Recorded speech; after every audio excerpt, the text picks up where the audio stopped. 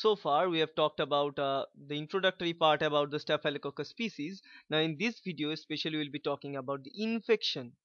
We'll be talking about the infection or the mode of infection and what kind of diseases uh, the staphylococcus aureus actually cause. Okay so the infections that staphylococcus aureus can cause are majorly of two uh, actually two different types majorly of two different types. One is simply called as infection so let me write it here. One is simply called as infection. So this is the first kind simple termed as infection okay so this is the first kind infection. Now infection means if we are having staphylococcus aureus there so let's say one staphylococcus aureus it enters into our body. So let us uh, provide the body system here. So let's say this is the whole body of ours. So let's let's do this. So let's say this is the body. So this is the body okay. And the staphylococcus aureus enters into our body and then what it will do it will colonize inside our body. So in inside our body what it can do it can colonize. So from one it can produce many more staphylococcus aureus like that. Now this particular phenomena is called the infection uh, phenomenon. So in this case this one staphylococcus aureus invading inside our body and it is making this colonization. So let me write it here. It is called as colonization now this colonization will result in the different uh, damage of our host cell tissue and all these things right? So this is a kind of problem that that can be associated with the staphylococcus. Usually we can see this kind of problem regarding our uh, infection in our skin most of the cases. But uh, the infection in GI tract and other regions are caused by some other mode of the staphylococcus activity. And this is the second mode of staphylococcus activity and it is called so let me write the second mode. It is called the intoxication intoxication.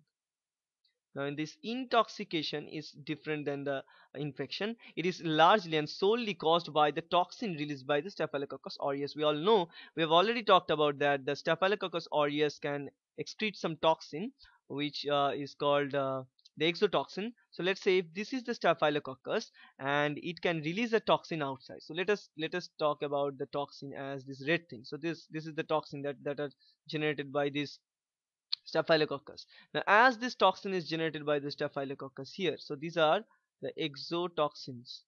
So exotoxins produced by staphylococcus uh, aureus for example. Now this exotoxin can enter into our body. Now if this toxin enters into our body then in those cases this toxin can cause diseases or different kinds of symptoms. Like for example so if i if i drag this different reasons what, what what what are the different symptoms. It can be of severe tissue damage. Tissue damage can be a part of that. Okay. And also uh, different kind of problems different kinds of uh, what you can say. Majorly it is associated with tissue damage except for that uh, immune system destruction. So immune so immune system problems so these are the different types of problems associated with uh, this kind of intoxication by staphylococcus. Okay. And this is solely due to the presence of exotoxin. In the previous case the infection is solely due to this colonization side right? So these are the things that we have already studied.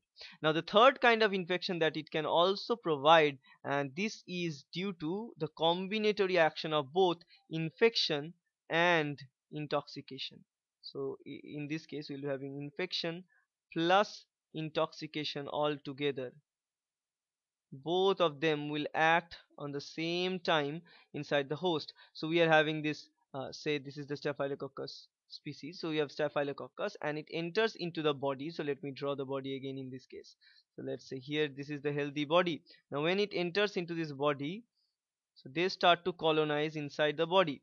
So as they are starting to start to colonize so they'll start colonizing there as well as they are secreting that exotoxin. So all these things are going on at the same time they're secreting those exotoxins. Now this exotoxin will further lead effects like immune system problems and tissue damage right? So these are the three different modes of infection that are caused by uh, the staphylococcus species. Now let us talk about the different diseases that are generally caused by staphylococcus. And the diseases caused by staphylococcus are of different regions. For example so let me talk about that. For example let's say the first example we are going to talk about uh, the diseases. The first one is skin problems. Skin diseases sorry for my handwriting though. The skin diseases that are caused by them. Now what kind of skin diseases that we are talking about? Uh, skin and soft tissue infections can be done. For example if i look uh, the different examples for that and the examples are uh, furuncles for example. So furuncles uh, are, are the examples and also cellulitis. Cellulitis is a type of example and obviously there are different wound infection like traumatic or surgical infections must be associated. So this kind of infections actually occurred by uh, by by staphylococcus epidermidis strain. Remember epidermidis epidermidis strain because the staphylococcus epidermidis strain usually present in our skin. So they present so it's a natural flora of our skin right? You know that. It's a natural flora of our skin. So in normal times they won't produce any harm but if there is any wound through the wound they can infect. So through wound they can actually infection infection can be caused right? So that's the basic goal of the skin diseases. Now the second type of diseases associated with all these things second diseases associated are uh, musco or, or, or you can say muscle muscular diseases actually. So musculoskeletal diseases actually. The example of this muscle uh, diseases are uh, arthritis and osteomyelitis. So these are the simple examples. Arthritis we know very common. So arthritis can be caused by different uh, types of agents but this is one of the dangerous agent, agent to cause arthritis it's a staphylococcus arthritis right? So arthritis is a type of condition and also osteomyelitis. So osteo sorry. Let's put them in better form. Yes this is them. Uh, y e myelitis l i t i s. So osteomyelitis. Okay the third type of diseases they can cause the third kind of diseases they can cause are associated with cardiovascular system. So it's a cardiovascular cardiovascular system. Now for this cardiovascular system the disease they usually cause are uh, endocarditis. This is not that much common but still they can cause endo sorry endocarditis okay. And uh, again they can cause gastrointestinal tract diseases like renal carbuncles and also lower urinary tract infection so let me write the last type. And the last type we're going to talk about here is sorry very much. Yeah four. Yeah. Now in this case it's a GI infection or GI tract infection. Now in this GI tract infection we can have diseases like say let me let me take this color. It can be lower urinary tract infection. Lower urinary tract infection. Okay. And also renal carbuncle. Actually these are not gi tract infection. Actually it's a it's a urinogenital tract infection. So i must put here so it's a correction. Here you must put ug or urinogenital tract infections. Okay. Because lower urinary tract infection as well as the renal carbuncle both of them